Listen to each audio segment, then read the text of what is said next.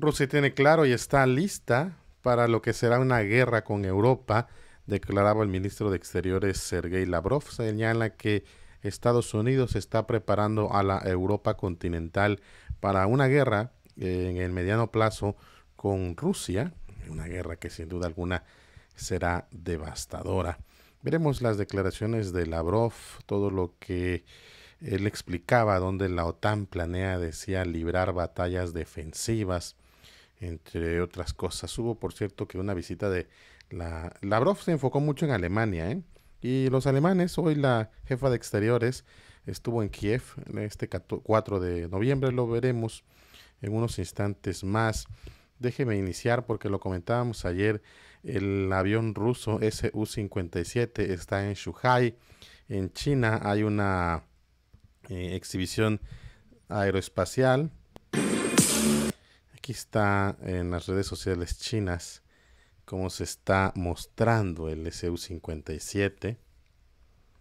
Pueden, pues prácticamente puede ir quien quiera, o sea, y ahí están filmando, grabando, etcétera, lo que está ocurriendo con esta exhibición.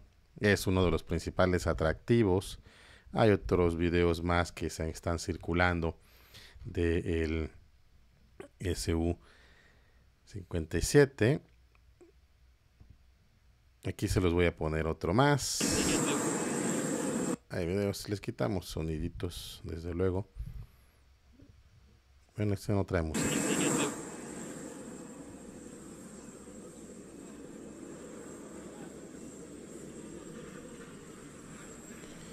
Claro, ya han empezado algunos a decir en las redes, no, miren, aquí está, este, está mal, está descompuesto por esta parte, ¿cómo es posible que sea de primer, eh, que sea este, un avión de primera, si está todo remachado ahí, arreglado, tiene este, lo han compuesto a como han podido, en fin, eh, digo, eh, se vale las críticas en este tipo de situaciones, no a todo mundo le va siempre a, pues, parecer, ¿no? Y bueno, así. Aquí está también otro video. A este sí le vamos a quitar la música. Y ahí está, miren ustedes. Preparándolo para la exhibición. Llegó el día de ayer domingo. Y ahora estará ahí. En esta exhibición, como ustedes los acaban de ver. Es solo como un comentario de lo que está ocurriendo allá en China. Esta fe pues, es uno de los principales atractivos de la reunión. Nosotros se los ponemos ahí con mucho gusto. Fíjense que hoy habló, habló, habló Sergei Lavrov, ya hasta me estoy trabando, habló Sergei Lavrov sobre los preparativos para lo que será un conflicto, o sea, una guerra Europa-Rusia. Este es parte de lo que decía Lavrov en el discurso en el marco de una conferencia que se llama Creando el Futuro, un simposio internacional, pues él hablaba del futuro de lo que viene.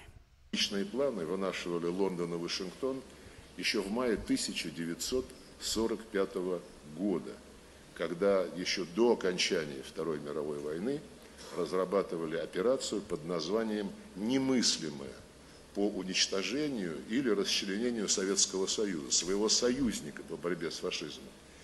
1945 год, май. Сегодня англосаксы рассчитывают победить нашу страну руками киевского режима, так же, как и Гитлер, собрав под нацистские знамена большинство стран Европы. Ну и как запасной вариант, на случай, если режим Зеленского не справится, они готовят континентальную Европу к тому, чтобы она бросилась в самоубийственную авантюру и вступила в прямой вооруженный конфликт с Россией. Печально, что нынешние правящие элиты многих европейских стран явно не видят для себя будущего в многополярном мире и ищут спасения у заокеанского гегемона. Правительство Германии стыдливо смирилось с унизительным разрушением газопроводов «Северные потоки» в ущерб коренным интересам германской экономики и германского народа. А теперь Берлин взял под козырек, когда США объявили о решении разместить на немецкой территории – американские наземные ракеты средней дальности. Канцлер Шольц лишь назвал такое решение хорошим. Pues ahí está lo que decía Lavrov, Sputnik, Sputnik estaba citando que eh, este, las palabras también de Lavrov, que abundó diciendo que Estados Unidos y sus aliados destruyen el sistema de globalización que ellos mismos promovían.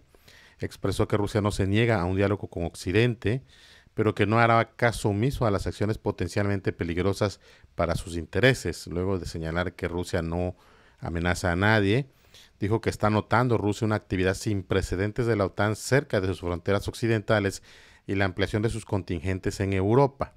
Lavrov también habló, citado por Ria Novosti, de que la OTAN planea librar batallas que llaman defensivas. Eh, él decía que las regiones de Asia Pacífico son eh, pues un punto importante donde la OTAN quiere librar guerras. Él recordaba que en julio en Washington los líderes otanistas confirmaron sus afirmaciones sobre el papel de liderazgo de la OTAN en la región euroatlántica, no solo ahí, sino también en la región de Asia-Pacífico. Así es que esta alianza defensiva, decía él, pretende llevar a cabo batallas en el mar de China Meridional y en el estrecho de Taiwán a mil millas de sus costas. Señaló que todos los observadores sensatos se dan cuenta de que tales acciones de la OTAN no conducen a ninguna parte. Pero bueno, ahí están las afirmaciones hoy de Lavrov la OTAN librará batallas, irá a la guerra en la región de China, el Indo-Pacífico, Taiwán, en algún momento de esta década, lo han dicho todos, Rusia lo tiene claro, y también en algún momento de esta década la OTAN librará una batalla directa con Rusia. Vaya, vaya situación. Y obviamente la OTAN justifica cada vez más esta, estas guerras por venir. Eh, el jefe de la OTAN afirmaba este lunes que los ataques rusos contra Europa se están intensificando. Aquí lo ven ustedes al nuevo jefe, el holandés Mar Rutte, visitó este lunes la capital alemana y decía que Rusia está llevando a cabo una campaña cada vez más intensa de ataques híbridos, interfiriendo con las democracias, saboteando la industria y cometiendo actos de violencia, dijo Rutte, hablando junto al canciller Olaf Scholz. Esto demuestra que el frente de esta guerra ya no se centra únicamente en Ucrania, sino que cada vez más se está desplazando a otros países de la región del Báltico, a Europa Occidental e incluso al extremo norte.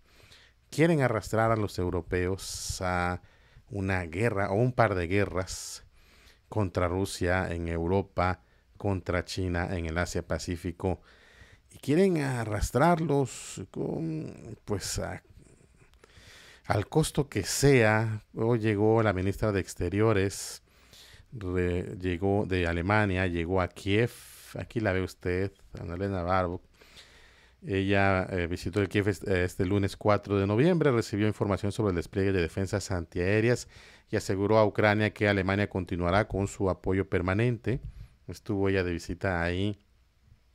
Eh, le pidieron que eh, responda, que ayude a debatir la necesidad de dar una respuesta a la participación de Corea del Norte. Aquí la vemos junto al jefe de exteriores de Ucrania, el nuevo jefe de exteriores de Ucrania, junto a Annalena Navarro, que estaba ahí, eh, pues bueno, visitando Kiev.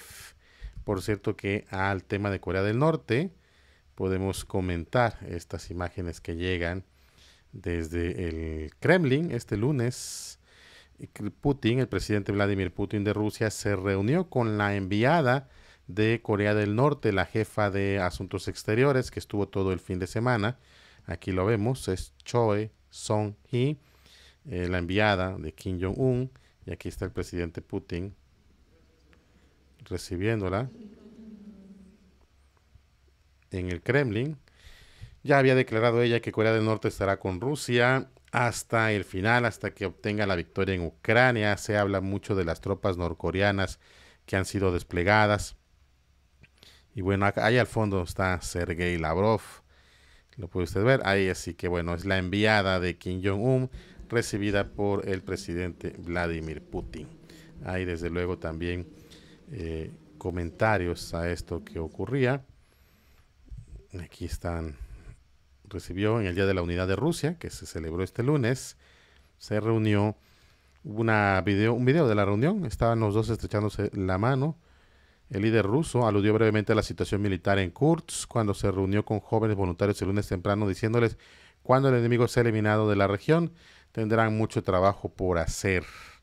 Así es que bueno, parte de lo ocurrido este lunes en el escenario guerrerista mundial. Gracias por estar en este canal, por ver estos videos.